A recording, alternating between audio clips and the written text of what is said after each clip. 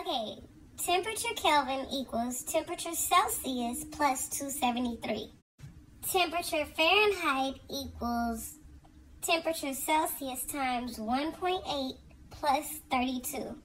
And finally, temperature Celsius equals temperature Fahrenheit minus 32 divided by 1.8.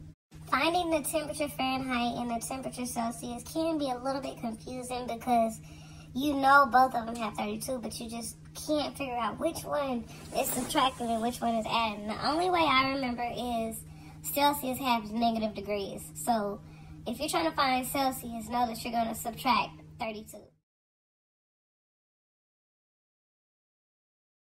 Not only that, it can be difficult to smoke a cigarette in winter weathers. So you know you gotta divide. And when it's hot, it'd be like three times as hot. You just can't be outside like that. You multiply.